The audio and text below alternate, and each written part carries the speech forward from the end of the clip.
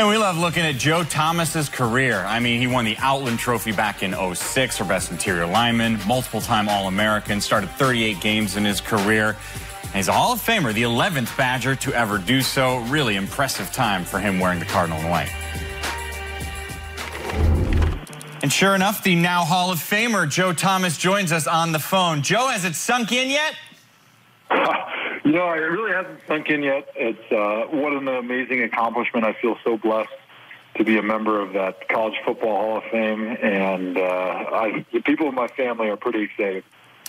When, let me take you back to when you were at Wisconsin. When, when you were a player with the Badgers, did it first hit you, I might be pretty good at this level?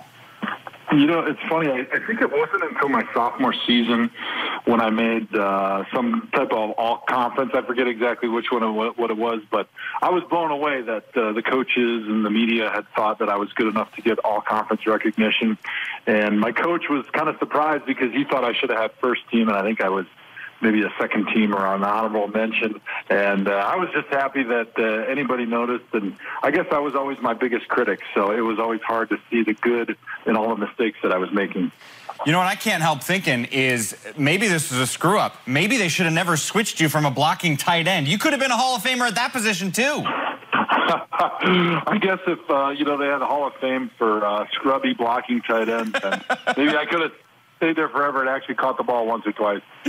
How would you summarize your time as a Badger?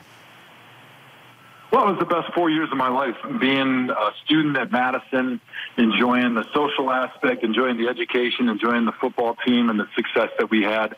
It was easily the best four years of my life. And I think back on uh, my time there with uh, great memories and all the great friends I made and all the great coaches I had. I just absolutely love my time in the Big Ten and at Wisconsin. What story do you most love to tell about Barry Alvarez? Boy, that's a good question. I think um, just the fact that you know he took a chance on me allowed me to play offensive line. He decided that uh, he'd let me play some defense during my career, and just the opportunity that they gave me. And I even did a little track when I was there, so it was great. I felt like Barry always treated us like men. He gave us a lot of great opportunities, but he always held us accountable, and I think that was some of his uh, best attributes as a head coach.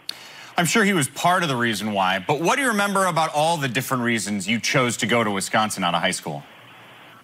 Yeah, I remember that actually when I started the recruiting process, there was uh, a big part of me that wanted to leave the state, go try something else. And I don't think I appreciated how great of a program and a school Wisconsin was. And it was right down the road from where I grew up. And by the time I went through the recruiting process and visited all the different schools, I realized that Wisconsin was at the top of my list and all the things I was looking for, and it became really a no-brainer that I needed to commit to Wisconsin. We talked about Barry. Who else would you want to thank for the accolades you've now received from your time at Wisconsin? Yeah, I got to thank Jim Hueber. He was my offensive line coach when I was there. He was a tremendous offensive line coach. He produced a ton of NFL guys. Um, he had a huge impact on me, not only as a football player, but as a man growing up from an 18 year old uh, pimple faced teenager to a 22 year old kid going into the NFL draft. Got to thank Paul Chryst. He was my offensive coordinator for a few years when I was there, a great friend of mine, still now the head coach. Um, and then, of course, Barry Alvarez, the guy that recruited me, guy that uh, believed in me from the beginning when I wasn't really getting recruited much out of, of high school, and uh, was then the athletic director by the time I graduated. So a lot of people that uh, had big hands in becoming a college football Hall of Famer. Joe, I hate to tell you this, but now you got to change your signature. It's now Joe Thomas, H O F. I'm okay with that. I, I'm not real smart, and I don't have a very good memory, but I think I can remember to do that. Joe, congratulations on becoming a Hall of Famer. Thanks for giving us some of your time today.